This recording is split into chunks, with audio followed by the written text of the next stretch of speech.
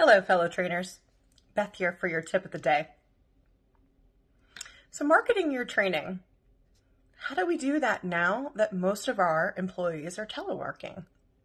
It can be a little bit challenging. In the past, we may have had uh, lunch and learns or kickoff meetings, things like that.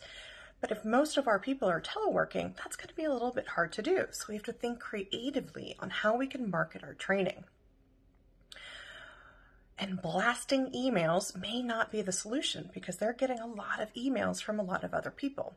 So we have to step outside of our box and think about how can we market the training that we've been converting into e-learning or virtual courses.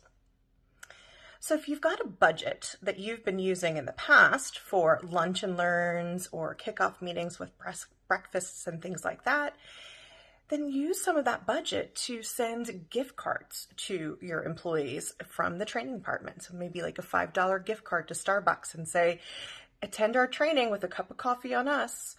Or maybe send some of your company swag from the training department to utilize during their virtual training classes, like a computer mouse or maybe some of those blue light readers.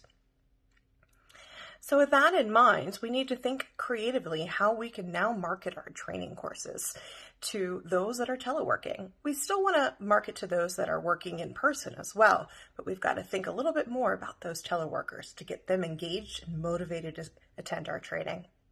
And that's my tip of the day.